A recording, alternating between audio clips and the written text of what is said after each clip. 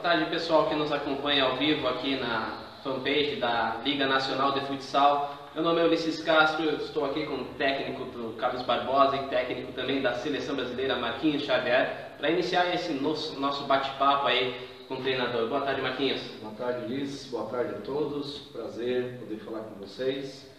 É... Sei que é um momento importante, né? um momento onde todo mundo está bastante ansioso e curioso para saber as novidades, então esse espaço é um espaço legal para a gente debater sobre vários assuntos. É isso aí. Então vamos começar o nosso bate-papo. Lembrando que o pessoal que está nos acompanhando aí na fanpage da Liga Nacional pode também mandar sua pergunta para o treinador que ele vai responder aqui. Estamos ao vivo na página da Liga Nacional de Futsal e vamos come começar, Marquinhos. Uh, primeiramente conversando sobre a CBF, né? o Carlos Barbosa. Uma, uma avaliação, uma breve avaliação tua sobre a temporada 2017 da CBF, Marquinhos. Bom, é, até o momento, né, a gente pode dizer que é uma, uma temporada bastante satisfatória, né, em função é, do que a gente conquistou no primeiro semestre. A gente tem a consciência de que é, a última imagem no esporte é sempre a que fica, né? então a gente precisa ir bem também nesse segundo semestre para terminar é, o nosso compromisso na temporada de uma forma é, atender a expectativa de todos.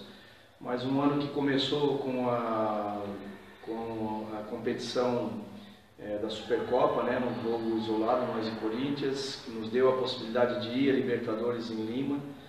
É, súbito a esse encerramento, essa conquista, a gente teve a oportunidade de representar o Brasil numa competição internacional e de muita importância.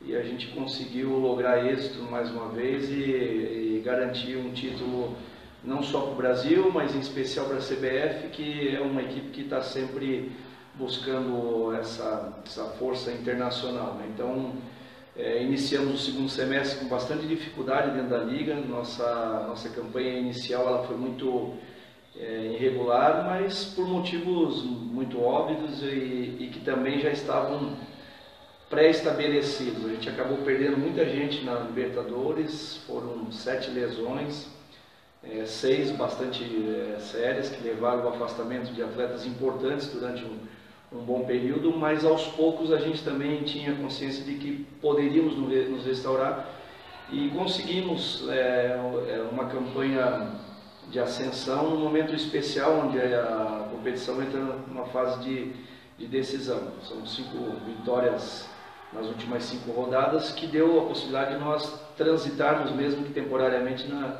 na liderança da competição e eu acho que isso, é, de certa forma, gerou um impacto emocional muito, muito grande dentro do grupo e fez com que alguns atletas, nesse momento de dificuldade, também viessem é, alcançar um espaço de notoriedade dentro da equipe, se destacando pela performance individual. Então, tudo tem acontecido e a gente espera, obviamente, fechar o ano com uma, com uma conquista, né?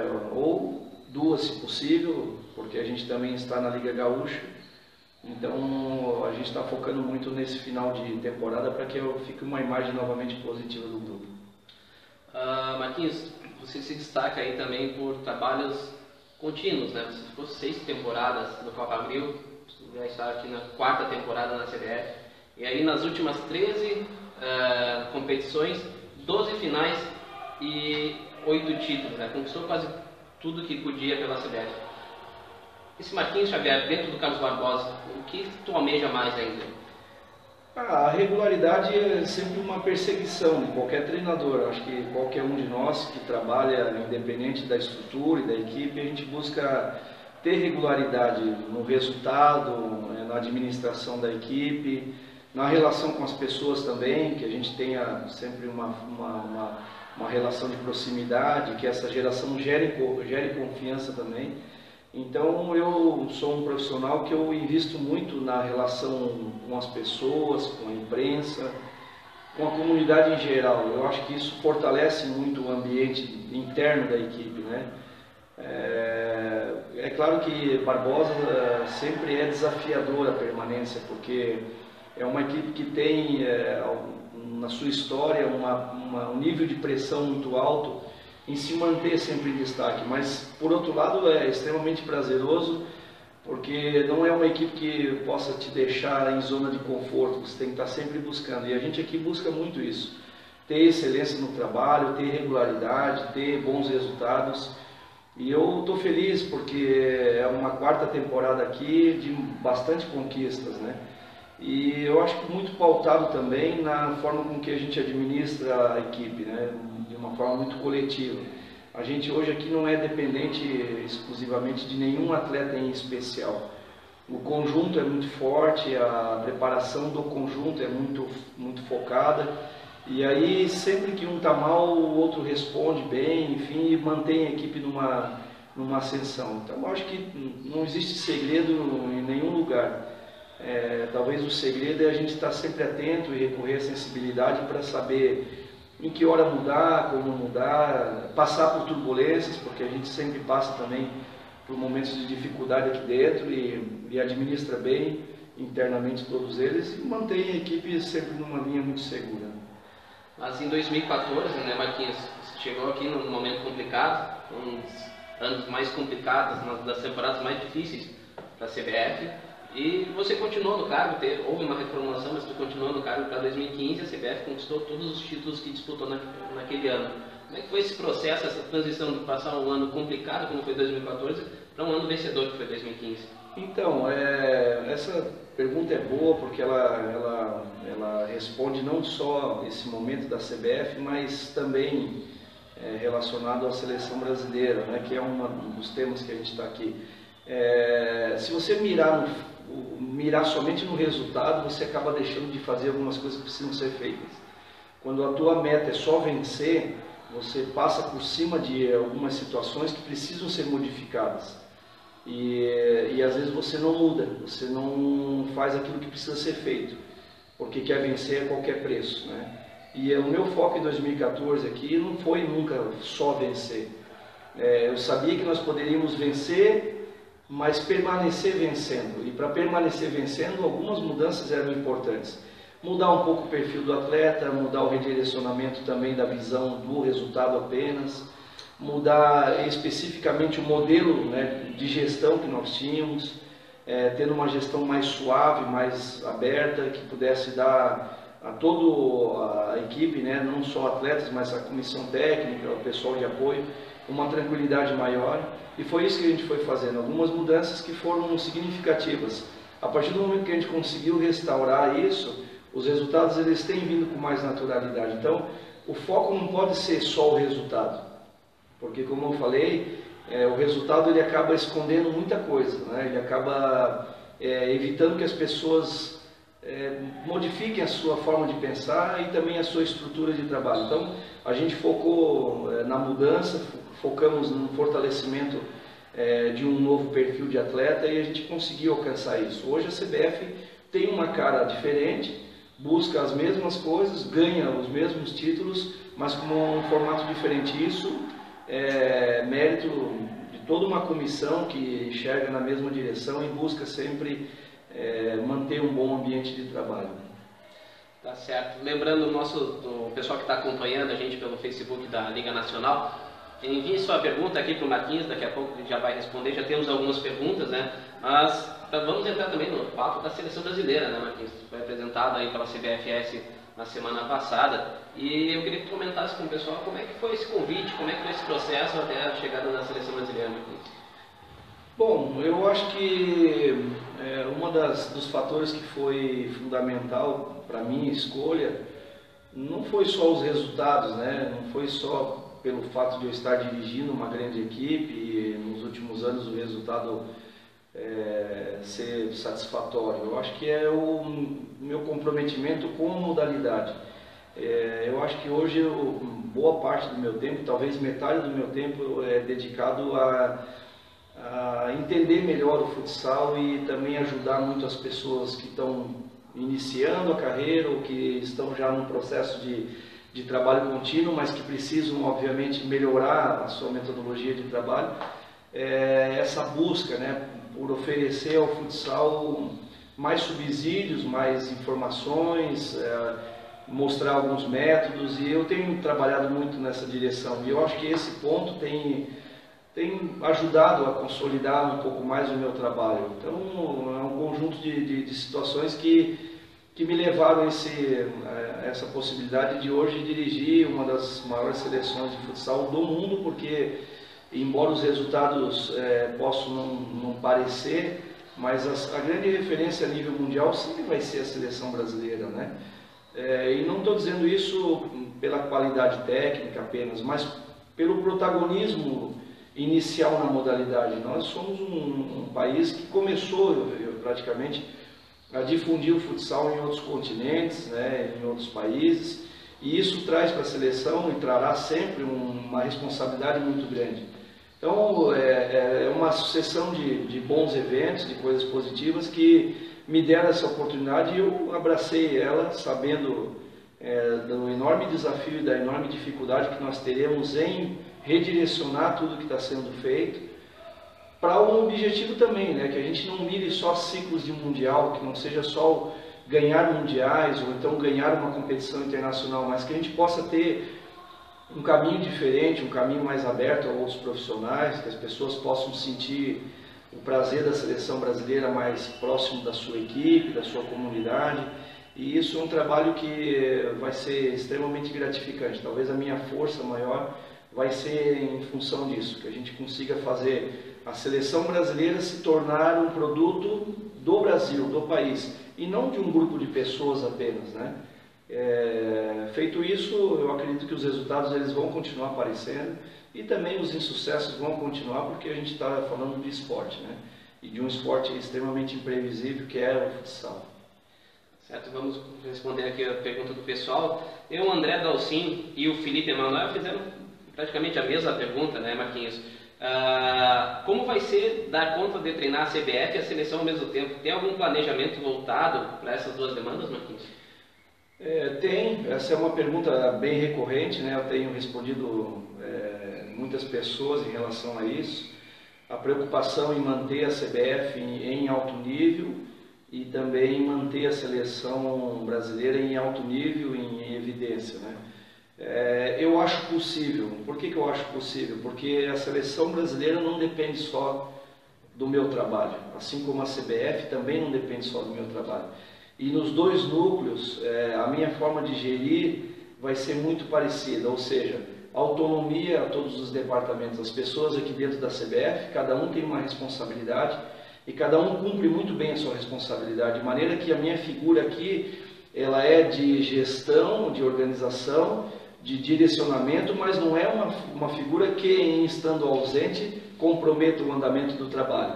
É, seria muito é, é, infantil é, da parte de quem gere os dois projetos numa forma, numa hierarquia maior, colocar tudo na mão de um profissional apenas, porque ele pode estar sujeito a doença, a, a um acidente, a qualquer tipo de afastamento, e aí todo projeto é comprometido. Não, é, autonomia aos departamentos significa que cada um tem uma grande responsabilidade. A minha figura na CBF e na seleção brasileira vai ser essa, de gerir um grupo de pessoas, de administrar um grupo de pessoas que sabem com, perfeitamente qual é a função específica de cada um e que a gente possa continuar crescendo. Então, é, é dessa forma que eu entendo ser possível administrar esses dois grandes projetos. É claro que os exemplos, às vezes, eles são, eles são entendidos como é, exagerados em alguns momentos, mas a seleção brasileira de vôlei foi administrada durante muitos anos, com a competência do Bernardinho ocupando a função de treinador da seleção brasileira de vôlei e um clube de, é, de vôlei em uma liga nacional. Então, calendários muito mais agressivos em alguns momentos, porque o vôlei joga muito fora do país, e se administrou, porque muito provavelmente, não sei a essência da gestão, mas muito provavelmente dessa forma, com autonomia as pessoas. Então, nem o trabalho da CBF, nem o da seleção brasileira está em cima somente do Marquinhos. Está é, em cima de um grupo de pessoas qualificadas e capazes de fazer com que as duas continuem grande e, e vencendo. Essa confiança que tu tens aqui na, na CBF, aqui em Carlos Barbosa, tu também deve ter na seleção brasileira, né? E uma das pessoas que você vai trabalhar é justamente com o Fernando Ferretti, um, um grande amigo seu. Como é que vai ser trabalhar com o Ferretti na seleção, Marquinhos? Uma experiência é, ímpar, né? Porque somos dois treinadores de gerações diferentes, de tempos diferentes. Eu fui atleta do Ferret há muitos anos atrás, tive a oportunidade de é, vivenciar alguns momentos com ele, depois ter o Ferret como uma grande referência dentro do futsal, não só para mim, mas para todas as outras pessoas. E hoje dividir com ele o espaço, dividir com ele as orientações, vai ser uma fase de aprendizado incrível, porque é, eu também não tenho na minha cabeça a concepção de que tudo que é feito em Carlos Barbosa na CBF vai dar certo na seleção brasileira. Pelo contrário, eu estou muito aberto a tudo que a gente vai viver de forma diferente dentro da seleção. Então, é, com o Ferretti, eu vou aprender a jogar de uma outra forma, a trabalhar de uma outra forma, e eu estou justamente é, é, inclinado a isso, por isso aceitei o convite porque eu acho que na minha vida profissional é o meu momento de me desafiar também. Eu não posso acreditar que a forma com que eu, as minhas equipes jogam nos clubes, a maneira com que as minhas equipes se comportam, ela vai perdurar durante 20, 30 anos.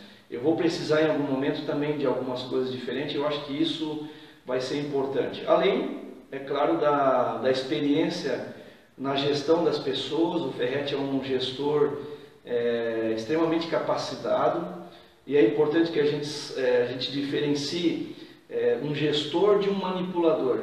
Né? O Ferretti é um gestor, é uma pessoa que conduz o trabalho com muita suavidade. Sabe agregar um grupo, sabe agregar as pessoas pela inteligência emocional que ele tem, pela inteligência em determinados momentos até irônica, né, sarcástica, como ele lida com alguns problemas e alguns desafios então vai ser aprendizado. Eu estou muito confiante e agradecido pela oportunidade de poder estar com ele na seleção. E assim como também aqui dentro da CBF eu tenho pessoas que são é, do mesmo perfil, cada uma completa uma, uma parte daquilo que eu não tenho como característica talvez pessoal. É, por isso que é legal, por isso que tem, tem dado certo, porque as pessoas ao meu redor são muito capacitadas. Né? Uh, Marquinhos, a gente tem algumas revelações na, na Liga Nacional desse ano, né? Como é que tu pretende, pretende dar oportunidade para essa garotada nova que está chegando aí dentro do futsal brasileiro? Então, é, vai ser muito claro e muito rápido a gente observar isso, porque juntamente com a comissão técnica né, da confederação, é, a gente já alinhou algumas coisas e a primeira coisa que a gente fez foi traçar um plano de diretriz para a seleção. É, seria um projeto de três anos, porque a gente inclui 2017, o restante do ano e 18, ainda por um ciclo de observação e avaliação. Né? É, o ciclo de 2019, 18 para 19, um ciclo de aprimoramento. E aí sim, o ciclo de 2019 e 20 para um ciclo de definição e, e ajuste final. Então, nesse ciclo de avaliação, nós poderemos ter muitos atletas, talvez até atletas que não pensem que podem ser convocados ou que para, ou que para, para eles possa a seleção brasileira estar muito distante.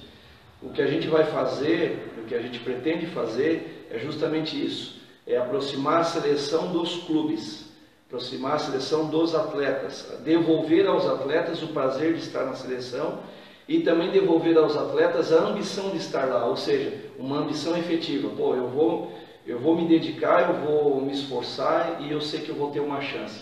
Então isso vai acontecer e vai acontecer muito em breve. É claro que é uma escalada que precisa contar com um apoio efetivo de alguns atletas experientes.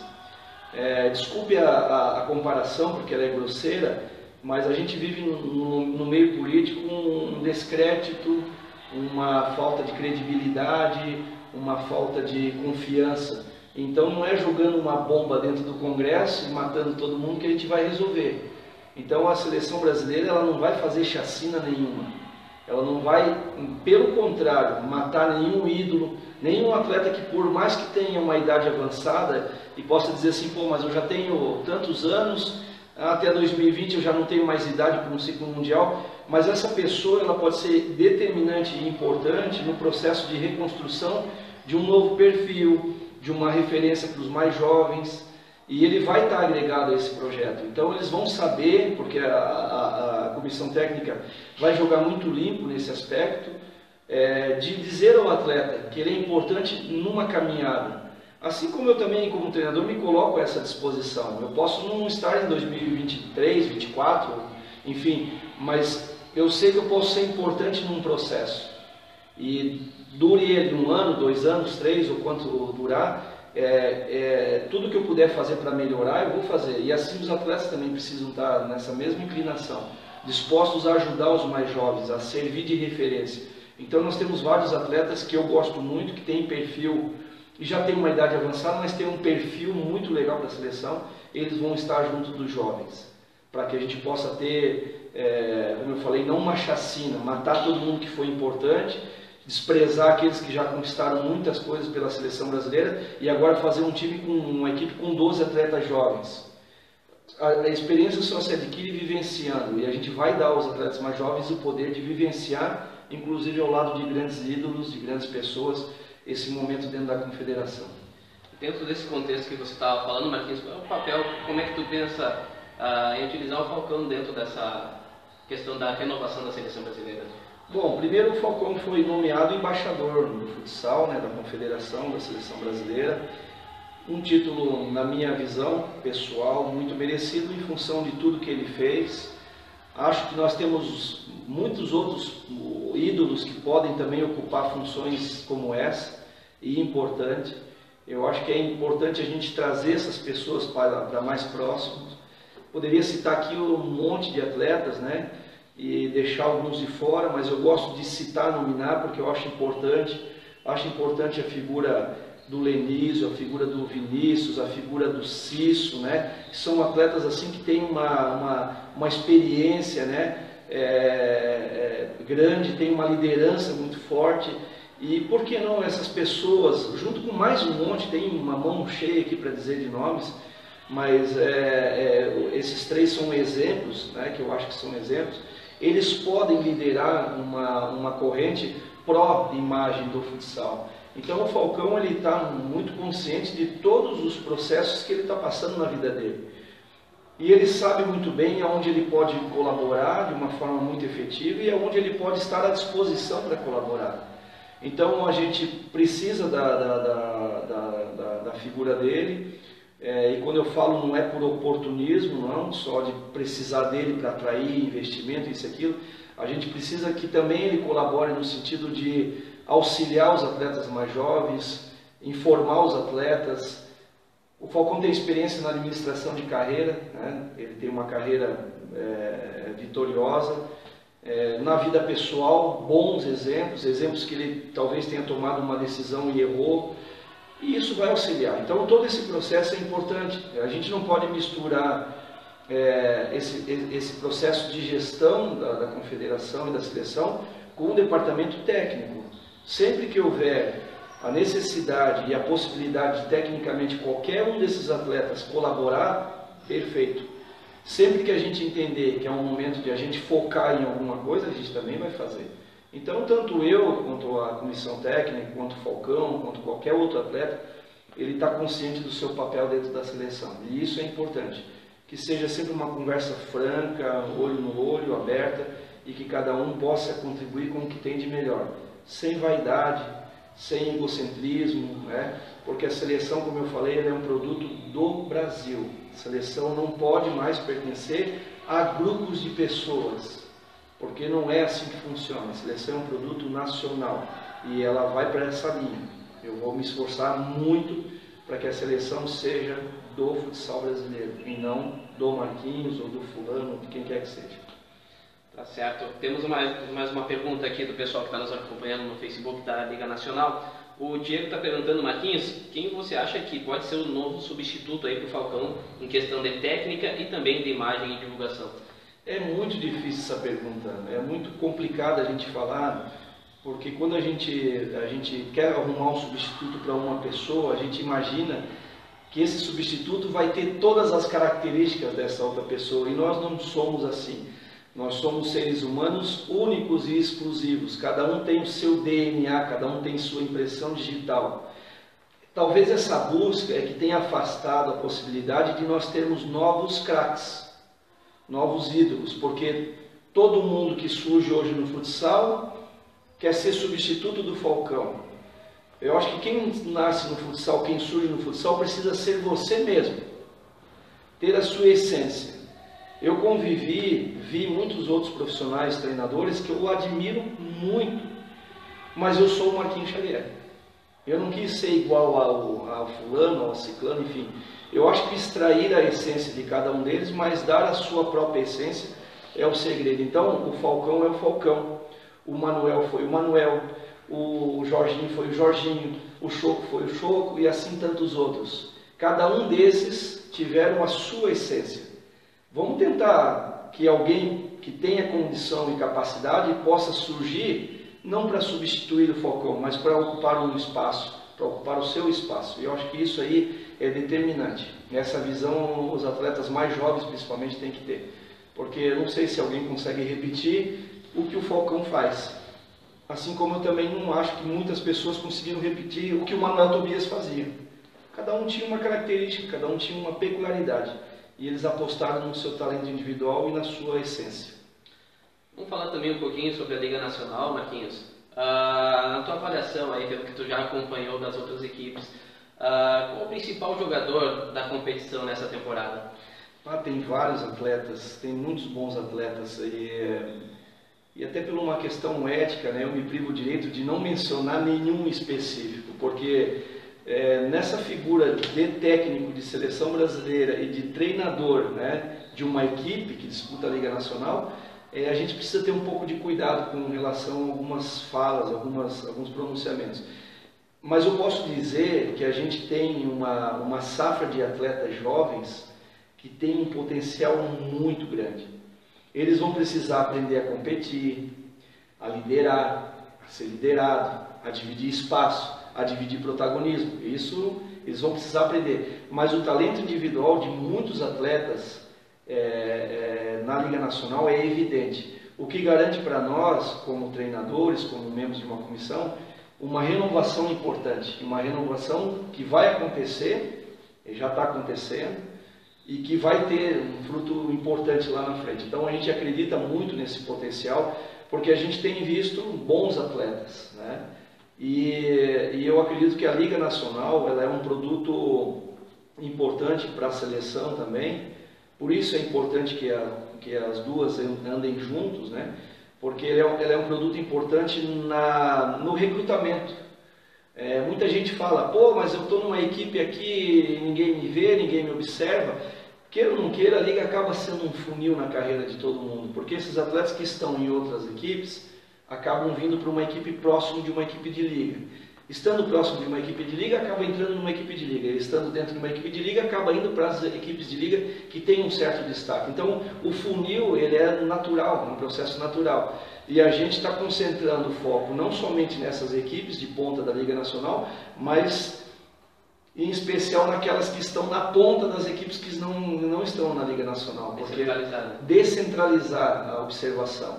Então a gente vai ter aí um grupo de pessoas que vão fazer essa análise colaborativa justamente para a gente poder escanear um pouquinho mais, tirar a essência do que é o nosso futsal brasileiro. Então, muitos bons atletas, a Liga nos presta um serviço importantíssimo e eu, como profissional também integrado à Liga Nacional, posso dizer que a gente tem observado um, é, a evolução de, de, de, de atletas jovens e de atletas também de uma faixa de idade que estão num nível de maturidade importante é, tem isso, né? tem uma maturação é, que vai acontecendo naturalmente dentro da vida de cada um e a gente vai tentar extrair sempre essa essência é, de todos eles. Né?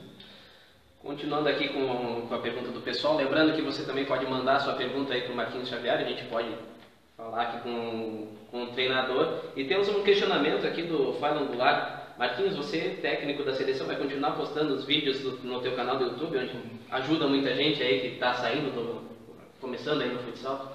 É, com certeza. O projeto que a gente tem, né, a gente começou com 300, 400 pessoas, hoje a gente é mais de 5 mil pessoas dentro desse canal, esse feedback é, é motivação, motivação, motivador, desculpe, porque é, muitas pessoas têm melhorado a sua forma de trabalhar porque têm compreendido os processos do futsal. Então o projeto continua com uma tendência de ele ficar ainda maior, pela importância do cargo, né? E quando eu falo importância, não é com arrogância, eu falo importância porque é um cargo de visibilidade. Então a tendência é que a gente faça ainda muito, muito mais é, pelo futsal e pela, pela, pela, pela metodologia do trabalho, né? Então a gente vai continuar assim. É, a confederação também, a gente já está alinhando um projeto dentro da confederação, um projeto que vai ser, vai, vai ser denominado como Dica do Professor. Então a gente vai dar dicas também de algumas situações de jogo. É, eu e o Perdigão vamos estar nesse projeto, juntamente com o Bernardo e o pessoal da assessoria de marketing e imprensa da confederação. Então, é, pessoal, é, entendam que o que a gente vai fazer é, massificar ainda mais as informações. A gente quer fazer com que as informações, que há algum tempo atrás era apenas pertencente a um grupo só de pessoas, ou então de uma equipe em específico, ela vai ser aberta para muitas outras pessoas. Então o canal continua forte. Aproveita aqui, aqueles que desejarem, né? Acesse o meu canal lá no YouTube e, e a gente vai continuar né, com um projeto cada vez mais forte. Uh, Marquinhos, uma avaliação tua sobre a, a situação hoje no cenário do futsal brasileiro É, é, é, preciso encarar com realidade e, e, naturalidade que o nosso momento ele é extremamente delicado. E ele não é impactante só a nível de seleção brasileira, ele tem impactado inclusive os clubes ele tem impactado a Liga Nacional no que se refere a investimento, a momento econômico, a um não cumprimento de obrigatoriedades da Liga Nacional. É uma coisa que a gente precisa discutir também e eu vou me colocar muito à disposição para discutir sobre isso. É, de clubes que não cumprem os acordos né, é, com os profissionais. Eu sei de amigos profissionais é, que passam dificuldade porque não recebem salário, não têm os seus contratos é, respeitados. Então, talvez nós teríamos que também criar me mecanismos dentro da Liga Nacional para proteger os profissionais. E me desculpe, eu não estou falando só a nível de profissional, estou falando a nível geral, mas como sou de uma classe de treinadores, preparadores físicos, auxiliares que trabalham, preparadores de goleiro que trabalham na parte técnica, é, eu defendo, obviamente, essa causa, assim como os atletas precisam se organizar nesse sentido também. Mas a gente precisa ter gatilhos dentro dessa da, da Liga Nacional e de qualquer competição que protejam os profissionais, porque está desanimador o nosso cenário. É, equipes não cumprindo é, os seus compromissos e deixando muitos profissionais realmente é, desanimados, desmotivados para cumprir as suas funções. Então, o nosso cenário é de dificuldade, por isso eu, tô, eu tenho dito que é uma causa que não é só da seleção brasileira. Tem muita gente que torce para a seleção brasileira e mal. O efeito é cascata, é, porque se a coisa lá numa entidade maior, numa referência maior vai mal, é natural que as outras também aconteçam é, de sofrer esse impacto. Então é preciso que todo mundo vá, vá bem. Para todo mundo ir bem, é preciso caminhar todo mundo para uma direção. Então eu tenho esperança, né? Eu uso sempre uma frase que o pessimista ele, ele acha o problema, mas quem resolve é o otimista. Então é, muito pessimismo, não vai dar certo, estar acabado, esse não presta, esse não presta. As pessoas gostam de criar rótulos, né? E ele identifica o problema, mas com otimismo a gente vai resolver. Então a gente tem que ter, ser otimista, mas a gente tem que ser muito profissional e buscar mecanismos para proteger o futsal brasileiro de uma crise institucional gigantesca e do afastamento principalmente de empresas que querem investir, porque o nosso produto é maravilhoso, o nosso produto é bom, o nosso produto tem audiência, o nosso produto tem um alcance gigantesco a nível nacional e mundial, e aí a, a insegurança de alguém que quer investir com responsabilidade porque a gestão não está sendo bem feita. Então a gente precisa, não é só de treinador qualificado, não é só de atleta qualificado, porque as pessoas falam muito isso, né? Precisamos de gestores qualificados. E está na hora dos gestores irem buscar qualificação. Não pode ser mais o fulano de tal, porque é amigo, porque gosta, gerir uma equipe se tiver competência, ótimo, mas o que a gente está vendo é que tem muita gente sem capacidade gerindo. Então, o impacto é o que a gente está vendo. É, devastador é, em termos de projeção, mas precisa se fazer alguma coisa. Vamos tentar, de alguma forma, buscar isso tudo. Né? Vamos continuar aqui com a pergunta do, do pessoal que está nos acompanhando aqui na, na fanpage da Liga Nacional. Tem o Reinaldo de Mendonça. Uh, Marquinhos, em que posição do ranking você coloca o Brasil nesse momento? E quem você acha que são os principais adversários do Brasil na atualidade? Bah, é difícil ranquear, né? porque eu acho que nós não estamos nem à frente nem atrás de ninguém. Nós estamos ao lado de uma, de uma série de seleções de, que tem competência é, é, bastante grande. Né?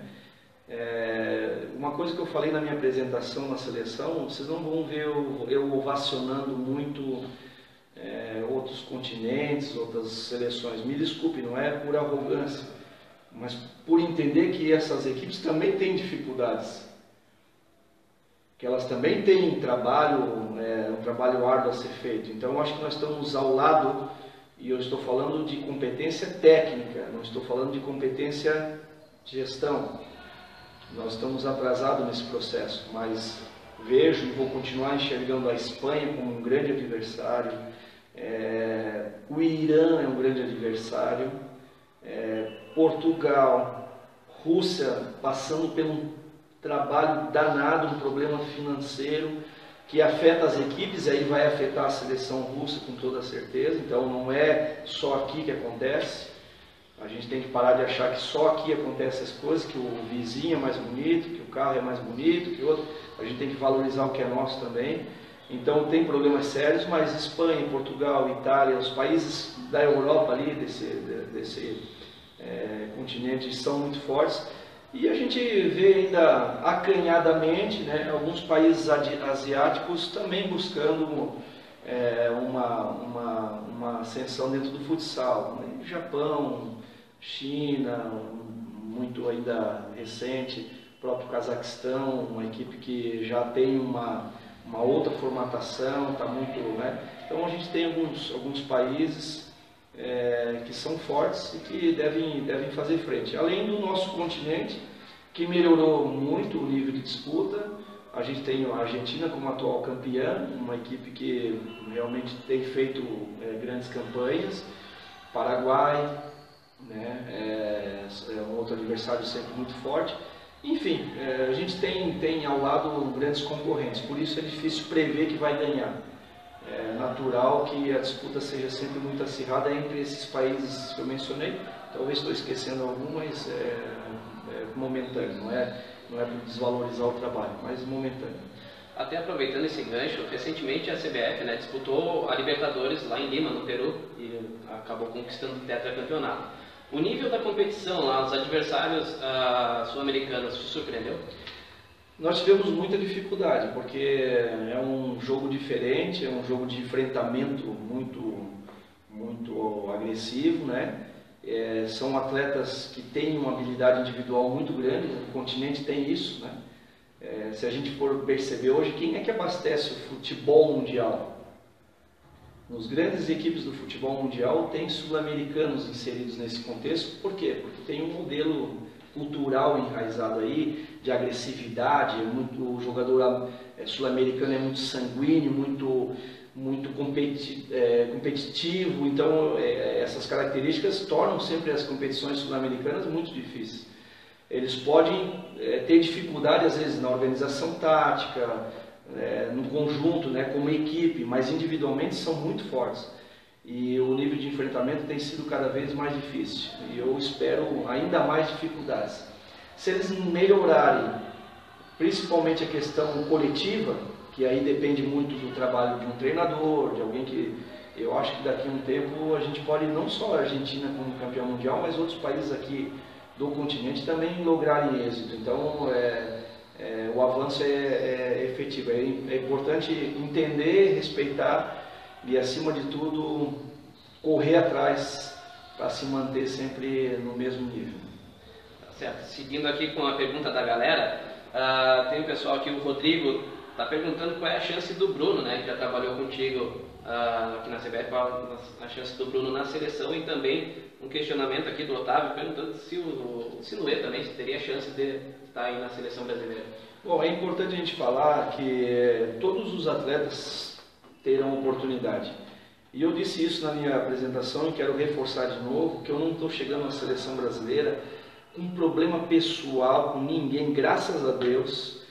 Eu já trabalhei com alguns atletas, alguns atletas é, saíram depois para trabalhar com outros treinadores. Algum, alguns provavelmente gostariam de trabalhar comigo, outros talvez não querem trabalhar nunca mais comigo, porque é natural que aconteça isso. Se acontece do treinador com o atleta, pode acontecer do atleta com o treinador também, a gente sempre respeita, mas eu não entro na seleção brasileira com restrição a nenhum jogador. E é importante falar também que dentro do planejamento que a gente fez na seleção brasileira, é, nós entregamos uma lista para o Reinaldo, que é o nosso supervisor, é, atualizada agora essa semana com 53 atletas que estão na Liga Nacional. 53 atletas. Então nós temos atletas de todas as equipes da Liga Nacional relacionados nesse conjunto de 53. E temos 17 atletas relacionados fora do Brasil, que são atletas que estão em diversas equipes, no futsal europeu e até, até asiático. Então, o que, que vai se fazer? Monitorar o desempenho de todos esses atletas. É importante dizer que a seleção brasileira ela vive de bons momentos. E às vezes o atleta se encontra num bom momento. Mas há uma série de conjuntos para um atleta ser convocado. Não é só a parte técnica, não é só a competência técnica individual, é o comportamento do atleta. Tem atletas que são magníficos nas suas equipes, mas não se comportam da mesma forma dentro de uma seleção. Tem atletas que às vezes nem fazem um trabalho tão magnífico dentro de uma seleção, mas têm um comportamento muito adequado dentro de uma seleção brasileira. Então, é, é um conjunto de coisas. E eu observo muito o comportamento do atleta, não é só a questão técnica. É, quem me conhece como, como treinador ou que já trabalhou comigo sabe que nem sempre aquele que tem o talento maior é o que tem mais destaque na minha equipe. Nem sempre isso acontece. Porque eu, eu acredito no coletivo. E a, existe também muito de um atleta estar tá se destacando muito dentro de uma equipe. Por quê? Porque tem ao seu redor atletas que lhe complementam, que oxigenam o seu jogo, que fluem o jogo. E às vezes dentro de uma seleção ele fica num conjunto de atletas que tem outras características e às vezes ele não acaba tendo um bom desempenho. Então eu não vou falar especificamente dos dois atletas que foram meus atletas, que são ótimos atletas, conheço muito bem, é, dizendo, ah, vocês têm chance ou não. Todos têm. Ah, mas quem estiver fora da lista dos 53 está fora da seleção brasileira? Não. Assim como quem está na lista dos 53 não tem cadeira cativa na seleção brasileira. É um monitoramento apenas para nós identificarmos um, um perfil de comportamento, para daí sim, em 2019, muito provavelmente, nós chegaremos com uma seleção muito definida, para treinar essa seleção até o ciclo de 2020. Então, quem está dentro pode estar fora, quem está fora pode estar tá dentro. O que a gente vai fazer é partir de uma base, de um núcleo que tem 53 atletas. Tinha 48 as duas semanas atrás e acabou tendo 53 e não é uma lista fechada. Podem ter certeza de que muitos atletas terão oportunidade na medida que também tiver dentro do, do, do clube uma postura para isso. Porque a gente observa muito, às vezes, o atleta que tem um bom desempenho técnico da equipe, mas que tem um péssimo comportamento com arbitragem, com torcedor, com e isso na seleção brasileira vai ser muito combatido. A gente precisa ter um perfil de atleta lá dentro que saiba que ele é uma referência para muitos outros atletas, para crianças, para jovens, informação. Então a postura tem que ser, tem que ser legal. A gente vai trabalhar muito para que isso aconteça. Legal, tem bastante interatividade aqui na, na fanpage da Liga Nacional, Marquinhos. Ah, responder uma, uma, pergunta do Rodrigo Machado, quando é que vai ser a próxima convocação da seleção brasileira, a tua primeira convocação como treinador? É, então, deve acontecer no mês de setembro, a convocação oficial. A gente já está trabalhando em cima de algumas situações, né? o Reinaldo tem feito um trabalho é, de ligação entre nós, da comissão técnica e a confederação, mediando algumas, algumas pautas que podem ser importantes. e a gente deve ter uma, uma, uma, convocação no mês de setembro, não sei a data oficial, porque ainda, ainda, ainda não, não foi nos passado, porque nos dias, no dia 24 nós temos um compromisso, um desafio internacional com a equipe do Paraguai em Uberaba, Minas Gerais, é, e esse desafio vai ser a minha estreia e também o encontro da seleção é, principal adulta com os membros da comissão técnica também, né, os demais membros. Então, a convocação deve sair no mês de setembro. Até lá, a gente está trabalhando muito é, em cima do planejamento, em cima do calendário, já, já montado para 17 e 18, é, 19 e 20 já com um esboço bem, bem estruturado também. O que a gente quer fazer é tentar ganhar é, na organização e depois na execução de todo esse planejamento que a gente tem para frente. Marquinhos, respondendo à pergunta do Jean Kruger, uh, qual a posição uh, no mundo do futsal que tu coloca o Marquinhos Xavier como treinador? Entre os 150, vamos botar assim, porque seria pretensão da minha parte me colocar à frente ou atrás de qualquer outro profissional. É, isso não me preocupa, é, eu sei que é, a, a pergunta do Jean é uma pergunta interessante, porque as pessoas gostam de se colocar em algum nível, né? Eu não, não, estou à frente de nenhum treinador a nível mundial, nem atrás dele. Prefiro caminhar ao lado de todos. Eu acho que ao lado de todos é melhor, porque tem as minhas características é, positivas, como também preciso melhorar em muitas outras coisas. Não sou um profissional é, que não tenha, né? Porque ninguém é defeitos. Então a gente precisa melhorar de maneira que o ranking pouco me importa. O que me importa é realmente é, realizar o trabalho que eu estou me propondo a fazer dentro da seleção e do futsal brasileiro em especial. O, pergunta do Diego agora, uh, existe algum projeto para o futsal finalmente se tornar um esporte olímpico?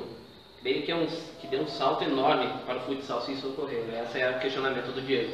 Então, Diego, tem tantas, tantas respostas para essa pergunta, eu não sei qual que eu acredito, porque cada uma vem numa direção diferente. A nossa missão é que se tornasse. Porém, eu acho importante relatar aqui é, que eu, ano passado, no mês de agosto, eu tive um encontro na Comebol em, em Assunção, na sede da Comebol, e eu realmente percebi um, um interesse muito grande da Comebol pelo futsal e o beach soccer também, não é só o futsal. E nesse ano em Lima, no Peru, a organização da Libertadores foi toda feita pela Comebol. E foi, né, a gente estava lá, foi fantástico. Então a Comebol efetivamente tem se interessado pelo futsal, até por uma orientação da própria FIFA, que canaliza os seus investimentos também para essas duas modalidades. Então estou vendo com, uma, com, uma, com, uma, um otimismo muito grande que a gente pode se tornar olímpico um dia. E o primeiro passo e importante é que ano que vem, 2018, em outubro, em Buenos Aires, na Argentina, vai ser realizado os Jogos Mundial da Juventude. E pela primeira vez o futsal foi, foi incluso nessa competição, que é um, uma competição do programa é, do Comitê Olímpico. Então veja que a gente está configurando, é uma competição sub-18, a gente já tem uma, seleção, uma comissão técnica montada, né? vai ser dirigida pelo Perdigão como coordenador técnico e o Daniel Júnior da Crono é, é nessa comissão técnica, outros, outros profissionais, é claro, também, mas já está já tá montada e eles já estão trabalhando num plano de, pro, pro, pro, de, de, de né, de busca de atletas e monitoramento de atletas também. Então a gente vai estar tá bem representado, embora o tempo é curto. A gente deve enfatizar muito ano que vem as competições nessas categorias é, para poder ter uma boa seleção e disputar esse campeonato. Feito isso, a gente tem grandes chances de, no futuro, não posso estimar tempo, de a gente fazer parte do programa olímpico, que seria maravilhoso. Eu acho que seria também, é, Diego, né? É um grande passo para a modalidade crescer e a gente poder ter uma visibilidade ainda maior. Tá certo, nosso tempo aqui está acabando, mas antes de encerrar nosso bate-papo com Marquinhos, Queria que você fizesse uma avaliação aí sobre as últimas rodadas aí da primeira fase da Liga Nacional, está chegando ao final da primeira fase agora. Qual é a tua expectativa aí para esses últimos jogos? É, eu usei uma frase é, uma vez, e eu acho que algumas pessoas podem lembrar. A Liga Nacional não é uma competição nem mais forte, nem mais fraca do que qualquer outra competição. A Liga Nacional é diferente. Ela é uma competição diferente. Como esse modelo é um modelo de jogos de ida, a tua tabela em um ano é determinante, o jogo que tu joga em casa, o que tu joga fora, com qual adversário. Então, a Liga Nacional é uma competição como uma maratona de 42, 195 metros. Não é fácil. É, porque dentro dessa maratona de 42 km, 195 metros, tem subida, tem curva, tem descida, tem chuva, tem sol, então a gente tem que saber andar dentro dela. Às vezes você dispara e não consegue chegar, às vezes você sai muito atrás e não consegue mais alcançar. E, então é uma competição difícil porque a gente está vendo agora no final aí pô, uma dificuldade enorme, enorme das equipes em se manter nas posições e melhorar a posição, prova de uma competitividade. Né? Então tem sido muito difícil. É, felizmente nós aqui na CBF conseguimos restaurar algumas coisas e aí, como eu falei, temporariamente a gente conseguiu chegar entre os quatro, né? E é importante a gente permanecer entre os quatro, então a gente vai brigar muito para isso. Mas é uma competição que a gente precisa entender ela bem para poder jogar. Então, é, tá legal e vai ter muita surpresa ainda. acho que não parou por aí não. Acho que vai ter muita surpresa porque é, no ranqueamento depois, no playoff é um playoff, é uma outra competição, é um outro momento, é uma outra largada, todo mundo emparelha de novo. Quem estava lá atrás está do lado do primeiro, então ele olha para o lado, o primeiro está ali, ele tem mais vantagem, e aí a vantagem é jogar em casa só, que às vezes é muito pouco perto de uma campanha de líder, de segundo, de terceiro e quarto colocado pega o último e às vezes cai o último. Então, é o futsal brasileiro, é o futsal da Liga Nacional. Sempre muito agressivo.